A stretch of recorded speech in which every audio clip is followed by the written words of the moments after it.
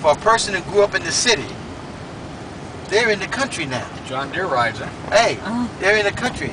They may have never been close to a, a tractor. Wow. You understand where I'm going?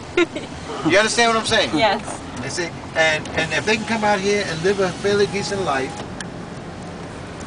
and go pick some fresh vegetables to go with the meat they just caught or the fish they just caught, and mm-hmm. come back and cook it out and sit out on the veranda, smoking and talking and drinking lattes or drinking high-end whiskey or whatever, they would just they they pay a lot for that. One like especially no Russian people, they love to make shish kebab, which is There out on uh, like on fire, not like just to have a Oh, there's barbecue the dog. thing, Put out but the window. Oh, there's dinner Oh, right there. It's dog, different. dog, oh my god, you Oh crazy. no no hold hold listen they eat dog in China.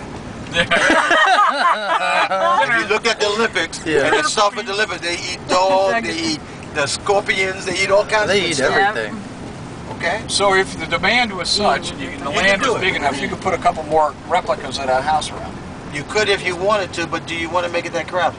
Well, it wouldn't be that crowded if they're 100, 100 acres apart or something. I mean, you know. Yeah, you could You do it could some put more. You a could few some more in. Yeah, you could put some more. Or you could offer them back in those trees back there. They can be camping out. Yes, that's like having um, fire. But I got some other something. places we can show about that.